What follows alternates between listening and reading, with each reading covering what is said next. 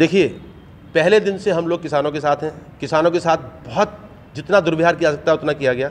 किसानों की बिजली काट दी गई, उनका पानी काट दिया गया, वहाँ उनको रहने की कोई सुविधाएँ, टॉयलेट्स ब्लॉक हटा लिए गए। हमने, दिल्ली सरकार ने, हमारी पार्टी ने तमाम वहाँ पर सुविधाएँ उपलब्ध कराई हैं किसानों के लिए। पहले दिन से हम उनको, उनके साथ हैं। आपको पता होगा कि हमको आदेश हुआ, दिल्ली सरकार को आदेश किया केंद्र सरकार ने कि हम जो तमाम स्टेडियम है, उनको जेल के उसमें, उनको परमिशन दे दें, ताकि वो किसानों को उसमें बंद कर पाएँ। हमने साफ़ मना कर दिया। हमने कहा हम किसानों को ये अन्नदाता है हमारे। इनको जेल में डालने का मतलब नहीं कि बात सुनिए आप उनकी उनकी समझिए आप। और हम लोग पूरी तरह से जो, जो तीनों काले कानून है उसके खिलाफ हैं। हम किसानों के साथ हैं अन्नदाता के साथ हैं पूरी तरीके से।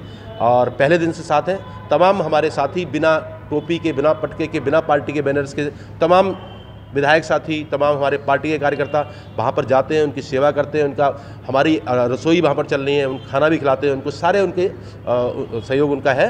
और आप लोगों के माध्यम से मैं एक बार फिर प्रार्थना करना चाहता हूँ माननीय मोदी जी से केंद्र सरकार से कि आप जब किसान कहते हैं कि हमको ये नहीं चाहिए तो आप क्यों देना चाहते हैं?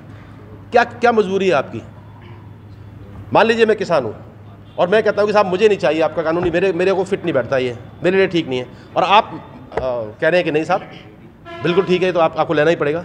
जब मुझे नहीं चाहिए तो मत दीजिए। आप क्या मजबूरी ऐसी? आप किस, कौन से लोगों को आप फ़ायदा दिलाने के लिए क्या मजबूरी है जिसके लिए आप इन इसको कानूनों को लागू करना चाहते हैं?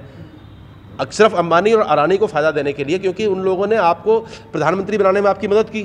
उन्होंने करोड़ों, अरबों, खरबों रुपए खर्च किए आपके लिए। तमाम पूरी भारतीय जनता पार्टी में आज देखिए, जब से मोदी जी आए, उसके बाद ऐसा कोई जिला मुख्यालय नहीं, जहाँ पर उनका कार्यालय नहीं है, उनका अपना कार्यालय।